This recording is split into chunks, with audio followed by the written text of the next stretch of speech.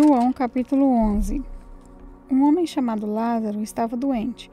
Ele era do povoado de Betânia, onde Maria e a sua irmã Marta moravam. Essa Maria era a mesma que pôs perfume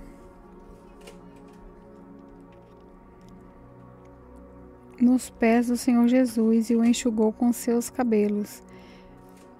Era o irmão dela, Lázaro, que estava doente. As duas irmãs mandaram dizer a Jesus: Senhor, o meu, o seu querido amigo Lázaro está doente. Jesus respondeu. É, quando Jesus recebeu a notícia, disse: O resultado final dessa doença não é, não será a morte de Lázaro. Isso está acontecendo para que Deus revele o seu poder glorioso. E assim, por causa dessa doença, a natureza divina do Filho de Deus será revelada. Jesus amava muito Marta e a sua irmã, e também Lázaro. Porém, quando soube que Lázaro estava doente, ainda ficou dois dias onde estava. Então disse aos seus discípulos: Vamos voltar para a Judéia. Mas eles disseram: Mestre, não faz tão. Mestre, faz tão pouco tempo que o povo de lá queria matá-lo a pedras, a pedradas, e o Senhor quer voltar? Jesus respondeu: Por acaso o dia não tem doze horas? Se alguém ainda, se alguém anda de dia, não tropeça, porque vê a luz deste mundo. Mas se anda de noite e tropeça, porque nele não existe luz. Jesus disse isso e depois continuou: O nosso amigo Lázaro está dormindo, mas eu vou lá acordá-lo.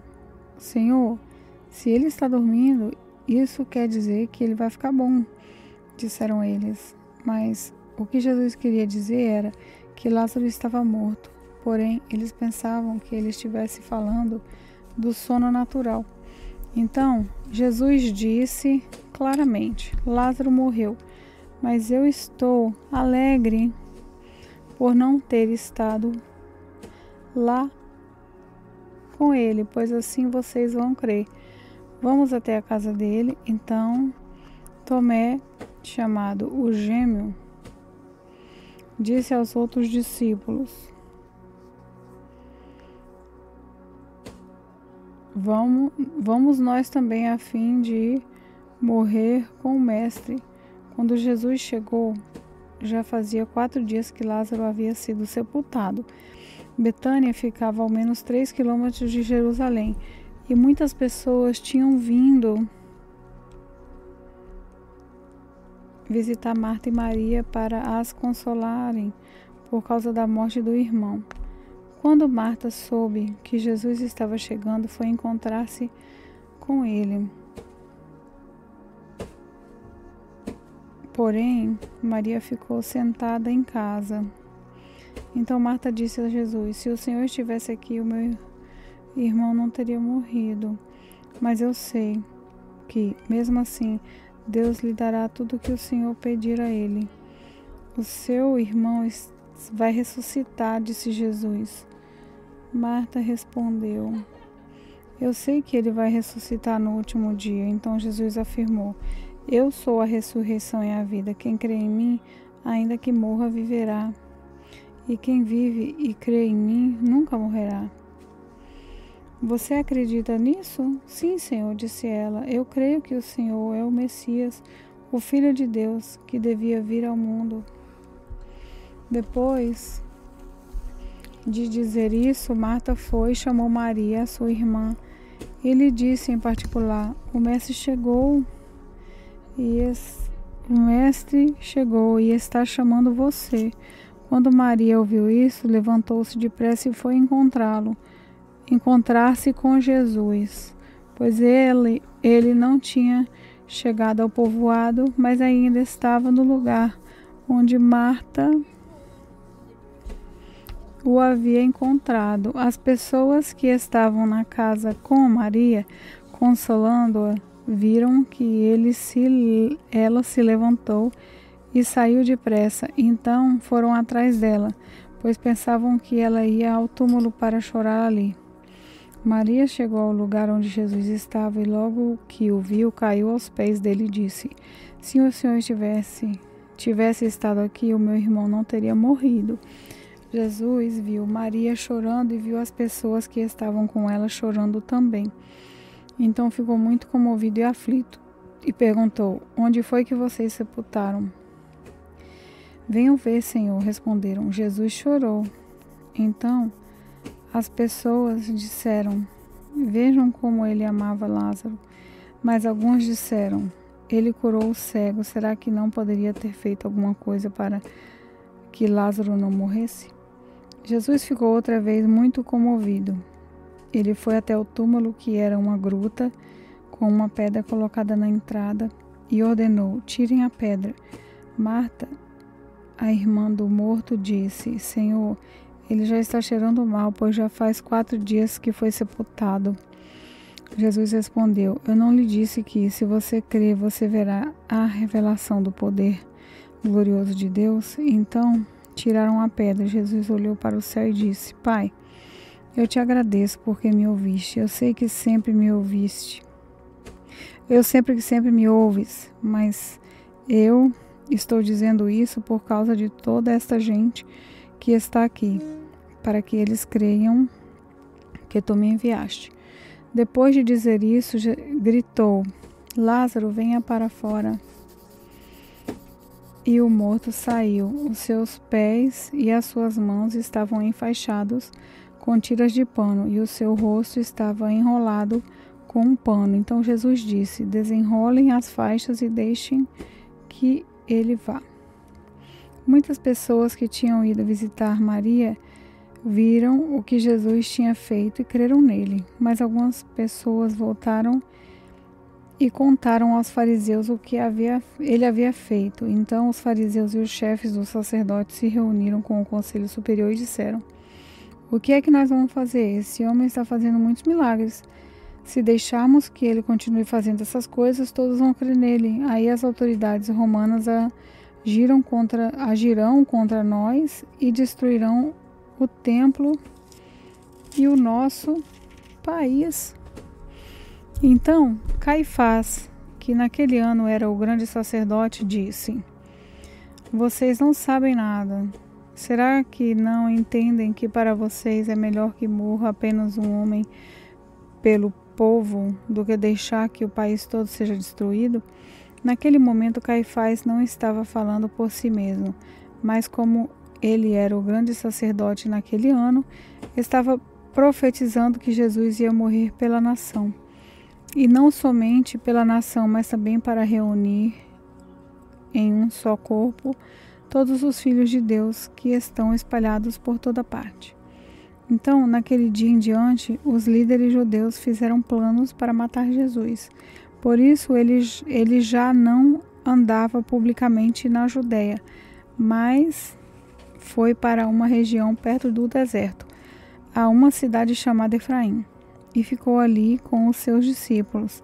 Faltava pouco tempo para a festa da Páscoa. Muitos judeus foram a Jerusalém antes da festa para tomar parte na cerimônia de purificação. Eles procuravam Jesus e, no pátio do templo, perguntavam uns aos outros: O que é que vocês acham? Será que ele vem à festa?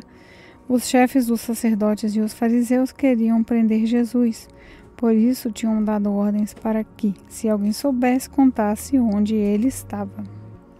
João, capítulo 12. Seis dias antes da Páscoa, Jesus foi ao povoado de Betânia, onde morava Lázaro, a quem ele tinha ressuscitado. Prepararam ali um jantar para Jesus. Marta ajudava a servir a servir e Lázaro era um dos que estavam à mesa com ele. Então Maria chegou, pegou um frasco cheio de perfume muito raro, cheio de nardo puro. Ela derramou o perfume nos pés de Jesus e o enxugou com seus cabelos, e toda a casa ficou perfumada. Mas Judas Iscariotes, o discípulo que ia trazer trair Jesus, disse: Esse perfume vale mais de 300 moedas de prata, porque não foi vendido e o dinheiro dado aos pobres. Judas disse isso não porque tivesse pena dos pobres, mas porque era ladrão. Ele tomava conta da bolsa de dinheiro e costumava tirar do que punha nela. Então Jesus respondeu: Disse, Deixe Maria em paz, que ela guarde isso para o dia do meu sepultamento. Os pobres estarão sempre com vocês, mas eu não estarei sempre com vocês. Muitas pessoas ficaram sabendo que Jesus estava em Betânia, então foram até lá, não só por causa dele, mas também para ver Lázaro, o homem que Jesus tinha ressuscitado. Então os chefes dos sacerdotes resolveram matar Lázaro também, pois, por causa dele, muitos judeus estavam abandonando os seus líderes e crendo em Jesus. No dia seguinte, a grande multidão que tinha ido à festa da Páscoa ouviu dizer que Jesus estava chegando a Jerusalém. Então, eles pegaram ramos de palmeiras e saíram para se encontrar com ele, gritando: Hosana a Deus! Que Deus abençoe aquele que vem em nome do Senhor. Que Deus abençoe o rei de Israel. Jesus procurou um jumentinho e o montou. Como dizem as escrituras sagradas: Povo de Jerusalém, não tenham medo. Veja, aí vem o seu rei montado num jumentinho. Naquela ocasião, os discípulos não entenderam isso, mas depois de Jesus ter voltado para a presença gloriosa de Deus, eles lembraram que isso estava escrito a respeito dele e também que era isso que tinha acontecido. A multidão que estava com Jesus, quando ele havia chegado, ah, quando ele havia chamado Lázaro para fora do túmulo e o tinha ressuscitado, espalhou notícia do que tinha acontecido e o povo foi encontrar-se com Jesus, pois ficou sabendo que ele tinha feito esse milagre. Então os fariseus disseram uns aos outros: Não estamos conseguindo nada. Vejam, todos estão indo com ele. Entre o povo que tinha ido a Jerusalém para tomar parte da festa estavam alguns não-judeus. Eles foram falar com Felipe, que era da cidade de Betsaida, na Galileia, e pediram: Senhor, queremos ver Jesus. Felipe diz, foi Felipe foi dizer isso a André e os dois foram falar com Jesus. Então ele respondeu: Chegou a hora de ser revelada a natureza divina do Filho do Homem. Eu afirmo a vocês que isso é verdade. Se um grão de trigo não for jogado na terra e não morrer, ele continuará a ser apenas um grão.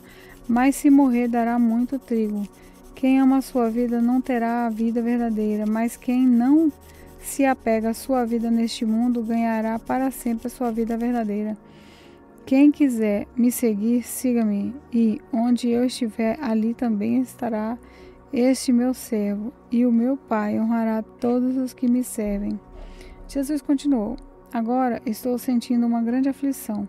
O que é que eu vou dizer? Será que eu vou dizer, Pai, livra-me nessa hora de sofrimento? Não, pois foi para passar por essa hora que eu vim. Pai, revela sua presença gloriosa? Então do céu veio uma voz que dizia: Eu já a revelei e a revelarei de novo. A multidão que estava ali ouviu a voz e dizia que era como um trovão. Outros afirmavam que um anjo tinha falado com Jesus, mas ele disse: Não foi por minha causa que veio essa voz, mas por causa de vocês. Chegou a hora e a hora de este mundo ser julgado e aquele que manda nele será expulso.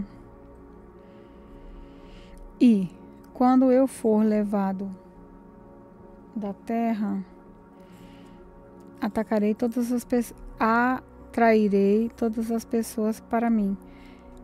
Ele dizia isso para indicar de que maneira ia morrer. A multidão perguntou: A nossa lei diz que o Messias vai viver para sempre. Como é que o Senhor diz que o filho do homem precisa ser levantado da terra? Quem é esse filho do homem? Jesus respondeu: A luz estará com vocês ainda mais um pouco. Ah, vivem a sua vida enquanto vocês têm essa luz. para que a escuridão não caia de repente sobre vocês. Quem anda na escuridão não sabe para onde vai, enquanto vocês têm a luz, cre creiam na luz para que possam viver na luz. Depois que Jesus disse isso, foi embora e se escondeu do povo. Eles tinham visto Jesus fazer todos esses milagres, mas não criam nele, para que se cumprisse o que diz o profeta Eli, Isaías. Senhor, quem creu na nossa mensagem e quem viu que era o Senhor que estava agindo, não podiam crer, porque, como diz, disse Isaías, Deus cegou os olhos deles e fechou a mente deles para que não vejam e não entendam, e não se voltem para ele e sejam curados por ele. Isaías disse isso porque viu a revelação da natureza divina de Deus, de Jesus, e falou a respeito dele. No entanto, muitos líderes judeus creram em Jesus, mas não falaram publicamente a favor dele para que os fariseus não os expulsassem da sinagoga. Eles gostavam mais de ser elogiados pelas pessoas do que ser elogiados por Deus. Jesus disse bem alto: Quem crê em mim, crê não somente em mim, mas também naquele que me enviou. Quem me vê, vê também aquele que me enviou. Eu vim ao mundo como luz para quem crê em mim. Não, fiquem na, não fique na escuridão. Se alguém ouve a minha mensagem e não praticar, eu e não praticar, eu não o julgo, pois eu vim para salvar o mundo e não para julgá-lo. Quem me rejeita e não aceita a minha mensagem, já tem quem vai julgá-lo. As palavras que eu di tenho dito serão o juiz dessa pessoa no, no último dia. Eu não tenho falado em meu próprio nome, mas o Pai que me enviou é quem me ordena o que devo dizer e anunciar. E eu sei que o seu mandamento dá a vida eterna. O que eu digo é justamente aquilo que o Pai me mandou dizer. João, capítulo 13. Faltava somente um dia para a festa da Páscoa. Jesus sabia que tinha chegado a hora de deixar esse mundo e ir para o Pai. Ele sempre havia amado os seus que estavam neste mundo e os amou até o fim. Jesus e os seus discípulos estavam jantando.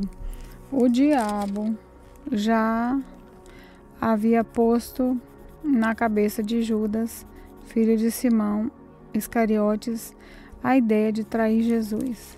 Jesus sabia que o Pai lhe tinha dado todo o poder e sabia também que tinha vindo de Deus e que ia para Deus.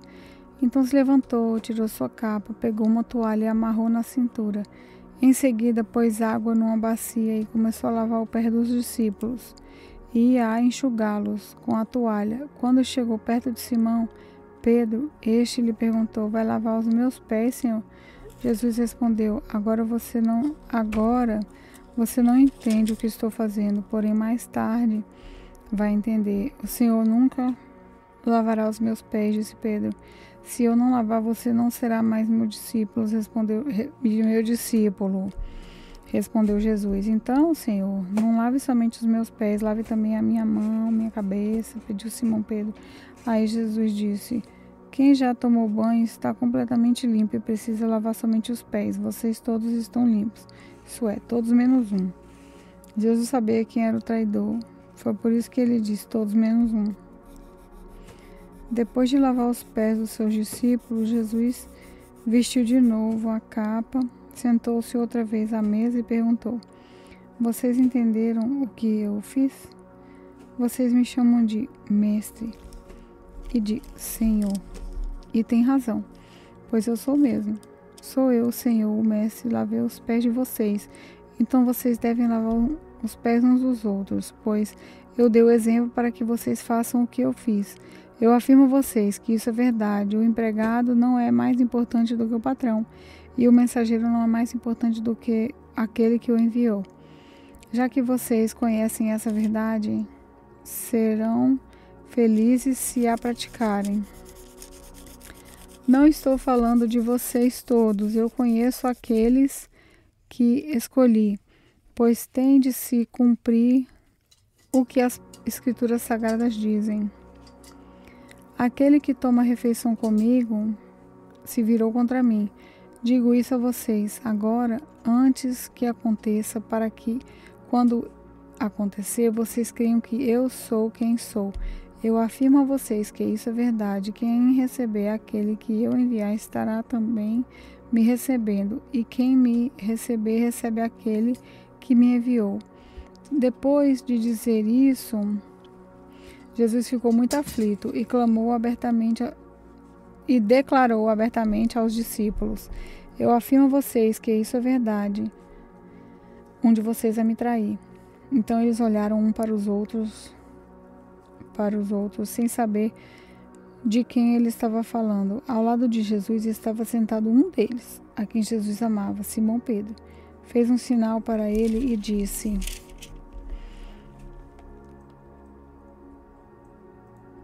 Pergunte de quem o mestre está falando. Então aquele discípulo chegou mais perto de Jesus e perguntou: Senhor, quem ele é? Quem é ele?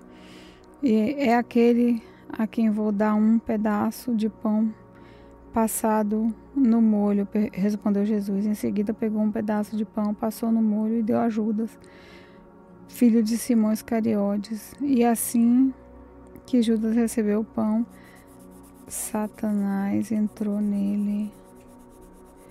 Então Jesus disse a Judas: O que você vai fazer, faça logo. Nenhum dos que estavam à mesa entendeu por que Jesus disse isso. Como era Judas que tomava conta da bolsa do dinheiro, alguns pensaram que Jesus tinha mandado que ele comprasse alguma coisa para a festa ou desse alguma ajuda aos pobres. Jesus, eh, Judas recebeu o pão e saiu logo. Era noite.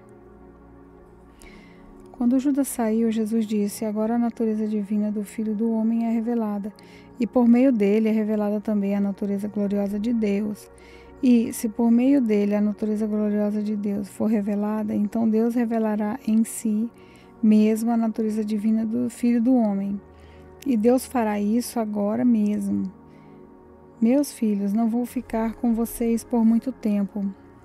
Vocês vão me procurar, mas eu digo agora: o que já disse aos líderes judeus: Vocês não podem ir para onde eu vou. Eu lhes dou esse novo mandamento: amem uns aos outros, assim como eu os amei. Amem também uns aos outros. Se, se tiverem amor um pelos outros, todos saberão que vocês são meus discípulos. Simão Pedro perguntou a Jesus: Senhor, para onde é que o Senhor vai? Jesus respondeu: você não pode ir agora para onde eu vou. Um dia você poderá me seguir. Pedro tomou, tornou a perguntar: Senhor, por que eu não posso segui-lo agora? Eu estou pronto para morrer pelo Senhor. Está mesmo? perguntou Jesus. Pois eu afirmo a você que isso é verdade. Antes que o galo cante, você dirá três vezes que não me conhece.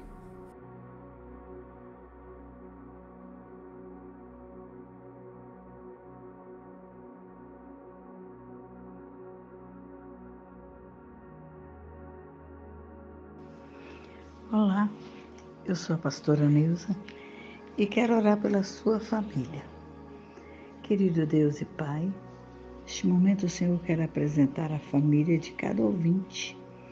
Que o Senhor possa, Pai querido, visitar cada um, repreendendo todo o mal, libertando, curando pela tua imensa bondade e misericórdia. Que o Senhor possa alcançar cada ouvinte neste momento, Pai e assim, Pai, eu entrego tudo nas tuas mãos e quero aqui te agradecer. Em nome do Pai, do Filho e do Espírito Santo. Amém.